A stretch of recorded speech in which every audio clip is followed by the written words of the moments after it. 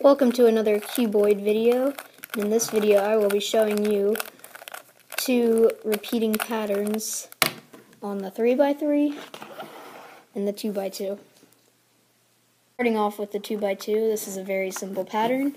All you have to do is pull this up and then to the top, so it's R, U, R, U, R, U, R, U, R, U, R, U, R U, R U, R U?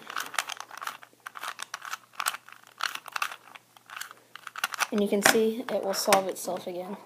This is a pretty cool trick to do if you're showing off to your friends. On the 3x3, this algorithm is a little more complicated, though it's still very easy. All you're going to do is turn the top once, then you're going to turn the middle one right here once, top, middle, top, middle,